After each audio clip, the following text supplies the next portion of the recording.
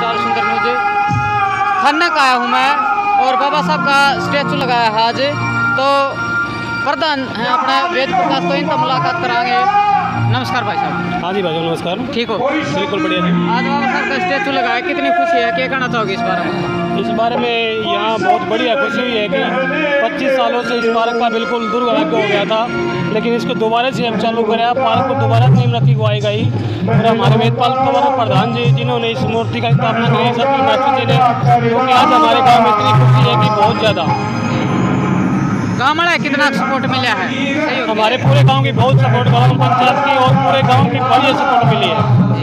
क्योंकि एक महान आदमी एक ऐसे गाँव में मूर्ति रखवाई है मूर्ति स्थापना करवाई है तो बहुत बढ़िया खुशी हुई पूरे गाँव में तो अपने आसपास से बाबा साहब की मूर्ति नहीं है पहली ये मूर्ति है यहाँ पे तो कितनी खुशी हो रही है?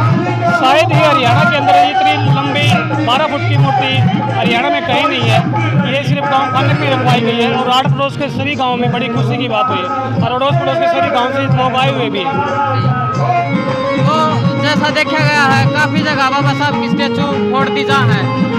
तो ये यार के प्रबंध कराया है, भाई कुछ प्रबंध कराया है ताकि जो शरारती तत्व हैं ऐसी घटना ना कराया सबसे पहली बात तो हमारे गाँव में ऐसे ऐसा तो लोग नहीं हैं जो कि बाबा साहब को नहीं चाहते हुए। लेकिन यहाँ हर घर में बाबा साहब को चाहते हैं।